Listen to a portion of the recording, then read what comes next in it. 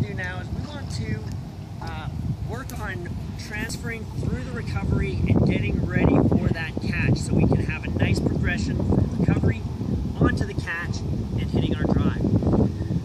So if, again, if you watch a lot of people row, they come up the, up the recovery, they get to the catch, and then they square their blades. So this is a bad thing because it doesn't let our blades get prepped up and we end up missing our catch because our blades aren't squared so we can't take it at the proper timing.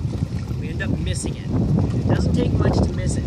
Miss it pretty quick. So what we want to do is we want to think about rolling those blades up to the square.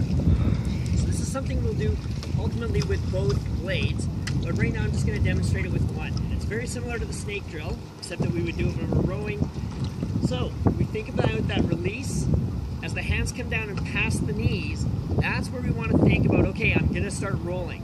So as we pivot, we're going to start that blade rolling, rolling, rolling, rolling, rolling, so it's ready for that catch. So we can lift that hand, plunk it straight in the water, and take that stroke.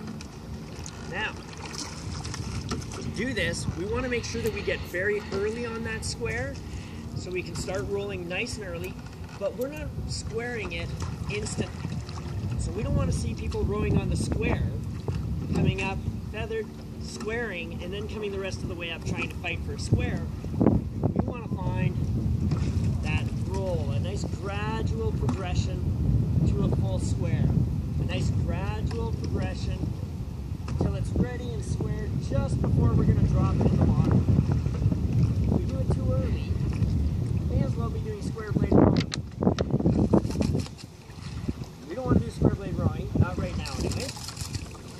So the good thing about this here and taking it nice and slow is it helps us really think about relaxing those hands. Because again, if we have the hands too tight, we may end up slamming our blades too uh, too aggressively in the water. They'll go too deep. So as we come up that slide, we're gonna think nice light hands, feel the roll, feel the roll, feel the roll, feel it sort of click in, and then we're good to go. We want very light hands, very relaxed, feel that roll, and then plunk it in, take it away. So we want to think of a couple things on this.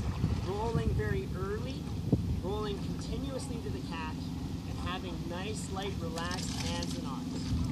And, uh, and that should hopefully help you get a nice transition from your recovery into the catch and lead you to a, a good, strong drive. Thanks a lot.